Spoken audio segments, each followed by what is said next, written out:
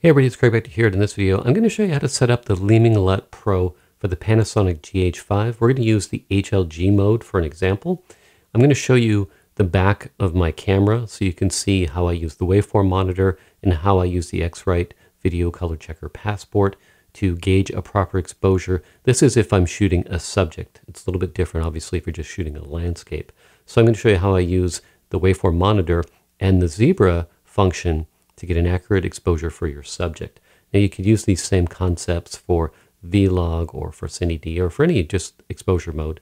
Also walk you through some of the tweaks that I make in the software as well. Also too, I think it's very important that you follow his PDF guides. So he has two PDF guides that you get when you purchase these LUTs. I'm going to walk you through how to install the LUT in Adobe Premiere Pro. Also, it's very important to follow step by step his camera setup instructions for each of these. So if you're doing Vlog or Cine-D or HLG, the only difference I found was I set my HLG zebras to 95. You'll see that in the video. Anyway, let's get right into the video. All right, so here we are. We're looking at the screen of the Panasonic GH5. Now I have the waveform enabled, so you can see the waveform. So now if I adjust my aperture, so that's my shutter angle at 180, if I adjust my aperture, you can see now we have zebras. So I'm using my waveform and my zebras. So we're in HLG on the Panasonic GH5 using the Leeming LUT Pro settings in the PDF guide. Now if you look at the waveform monitor, you can see right here that we're right at the top. So that top line is where it peaks out and that also corresponds with the zebras that we see.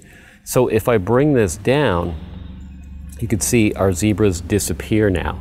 So you could see that we have our 100 or our 90 line here, which is below 100. And you can see now this is not peaking out.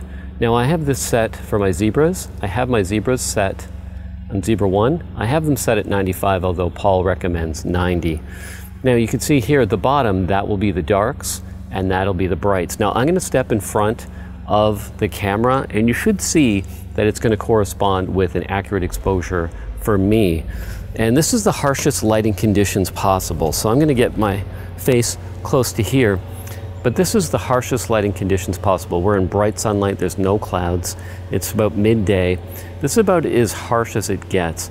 So you may want to go down even one more stop. But it's important too, if you look at the waveform monitor, I'll have that show up as I move my head. You can also see where my face is in the waveform monitor as I move. And so you want to gauge skin tones. And that's going to depend too if someone has darker skin or lighter skin like me. So that's one thing you might want to practice with before you go out into say like a harsh sunlight condition like this is to do a little test like this using this chart, using the person you're going to shoot with, go in and say, hmm, where do we want their skin tones to fall? Do we want them to be at the 70 line? Do we want them to be at the 80 line? Like I said, as I move my head, you can see where that fits in. So make sure that you're getting a good exposure. I would say we could probably go down a bit. I'm gonna step forward, I'm gonna change that and go down a bit. All right, so the previous setting was F8. I switched it to F9. So I'm letting less light in. So you can see it might be a little bit better. Now I can't see because I have the screen on the Sony, so I can't even see if I'm overexposed right now but I'm imagining that I'm pretty close. So we're going to go down one more stop just so you can gauge that.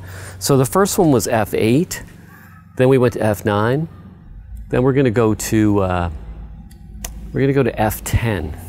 So we started at F8, the last one was F9. Now we're back at F10. So you can see how this sort of has an effect. And also too, you can make adjustments in post, although it's good to get the best exposure that you can, and that's without overexposing. Now, you have to make a choice too because the dynamic range is somewhat compressed on these cameras, so they can't capture everything our eyes can see. So when I'm shooting subjects, I like to put the exposure on them, so a really good exposure on them. I don't worry about blowing out some highlights in the background if it's about the person. Now, if I'm shooting a landscape, then that's different. So you have to gauge what you're shooting. And if you see that you're blowing out something in the back, sometimes shift your position. Say you have something white behind someone, and that's obviously blown out. If you shift your position sometimes to a different background, you can compensate for that. All right, in this clip, I'm going to show you how to install the Leeming Pro LUTs so that you can use them in Adobe Premiere Pro. I'm on a Mac. Now I have the LUTs for both Panasonic. I've already installed those. Now I'm going to install the ones for Sony. So you unzip it, and then we have them here. You can see them right here. So I've opened up another Finder window just to make this easier for myself. Now what you want to do is go to Adobe Premiere Pro. If you click on the little arrow here, you can see it drops down. So we have a second one here. Now if I double click or right click, you can see Show Package Contents. Now if I do that, I see the contents. If I click on that arrow, I can see a bunch of different folders under that.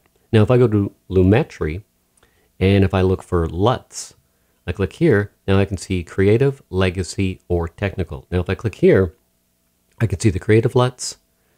If I click here, I can see the legacy LUTs. And if I click here, I can see the technical LUTs. Now we want to place these in the technical LUT category. Now you can see if you look here, I already have the Panasonic ones here. Leeming LUT, Rec 709, Vlog L.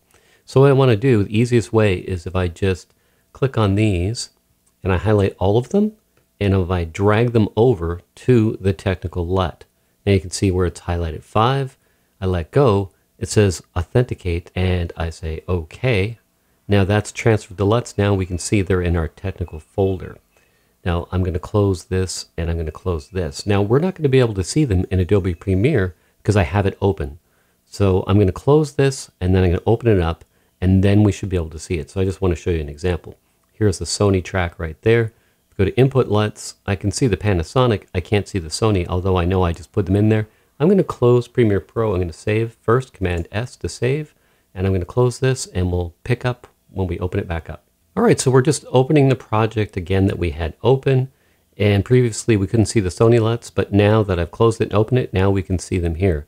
So here we have the Leeming LUT Pros for Sony. Now this track here is just a shot of my GH5 camera screen. So this is all going to come together in the video, you'll see. But I shot this on HLG on the Sony. So we're going to go to HLG Sony, and that should give us a little bit better color. We'll just bring up the exposure a bit. You can see we have our exposure meters over here. I can bring up my whites a little bit if I want, but uh, we'll just go up a little bit there.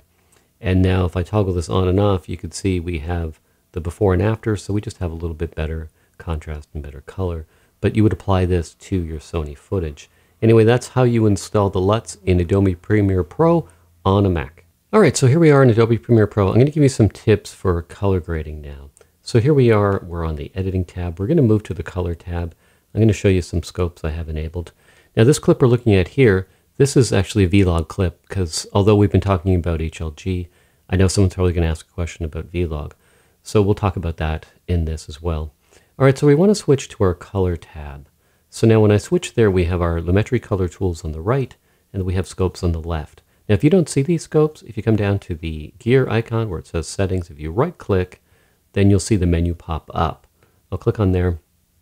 Now you can see I have the vector scope, YUV enabled, the RGB parade, and the RGB waveform. Now this is going to help me with the color grading.